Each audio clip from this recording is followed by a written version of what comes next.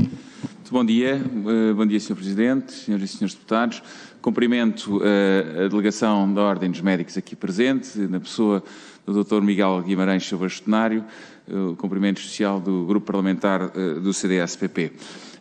Começamos por referir que já tivemos algumas audições no âmbito deste, deste problema e temos vindo a sublinhar que o, a questão e o problema levantado, que não é de agora, do Centro Hospitalar de Setúbal eh, não é um caso único no país, infelizmente. Uh, obviamente são levantadas questões, uh, como bem referiram, de deficiências estruturais e aqui, enfim, congratulamos-nos também pelo concurso público internacional que ainda há pouco foi lançado para a construção de um novo edifício, o alargamento de um novo edifício, também as questões de financiamento e as questões dos profissionais de saúde. Se, relativamente às deficiências estruturais e ao financiamento, entendemos que não, não são os médicos que têm uma resposta direta a este, a este problema e, e aqui o diagnóstico está feito e os problemas são já uh, subejamente conhecidos. Um, uh, eh, eu queria focar-me naquilo que, que os, os, na ordem dos médicos e o pessoal médico pode ser de facto a resposta e, e nos dar aqui e, soluções. Falamos de falta de atratividade, a dificuldade na fixação dos médicos eh, nos hospitais públicos, ehm, falamos ainda eh, da, da deficiente de, eh, formação de médicos, deficitária formação de, de médicos, e aquilo que eu gostaria de de começar por perguntar uh, naquilo que queremos que sejam as respostas e que a Ordem dos Médicos nos pode, de facto, ser, uh, uh, dar a resposta certa, nomeadamente numa questão. No último Conselho de Ministros foi aprovado o, o, novo Estatuto do Serviço Nacional de Saúde, que prevê o regime de dedicação plena ao Serviço Nacional de Saúde. Pergunto, foi a Ordem dos Médicos ouvida, consultada previamente pelo Governo a propósito desta matéria? Entendem que o regime de dedicação plena, nos moldes em que o Governo estará a desenhar, vai resolver os problemas não só do Centro Hospitalar de Setúbal, mas também dos hospitais do, do SNS em geral, no que, fal, no que respeita à falta uh, de médicos? E é este regime suficientemente atrativo uh, e uma solução milagrosa para, para este problema?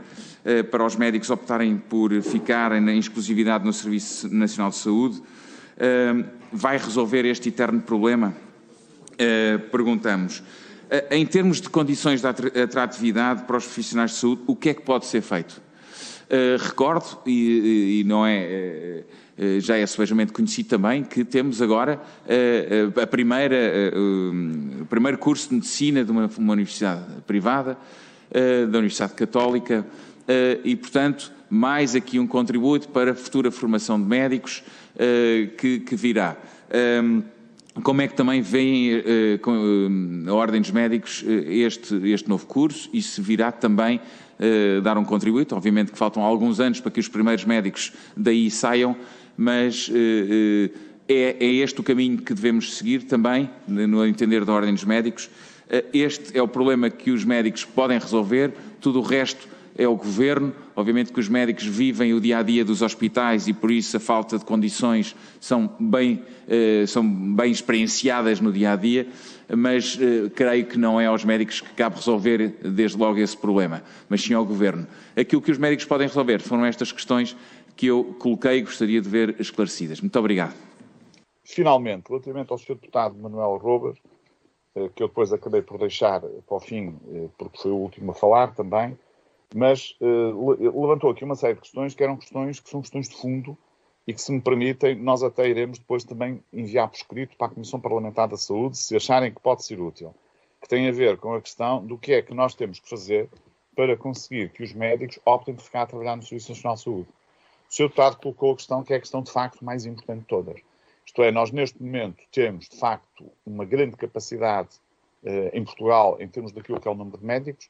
Nós temos neste momento com menos de 70 anos, mais de 50 mil médicos, eh, ou seja, médicos que, que, poderão estar no ativo, no Serviço Nacional de Saúde ou fora, ou fora dele. Portanto, nós temos mais médicos inscritos na ordem, temos quase 60 mil, mas estou a falar dos médicos com menos de 70 anos.